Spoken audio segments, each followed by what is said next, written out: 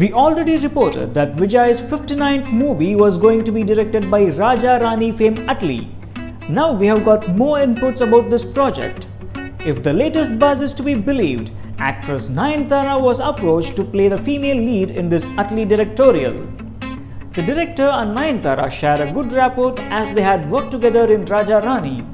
The Billa girl has to wrap up a couple of movies before taking up this Vijay's film. She is currently busy with Simbu starrer Idunamma Alu, Nanbenda with Udayanidhi Stalin, Jayam Ravi's Thani Oruvan and Surya's Mars.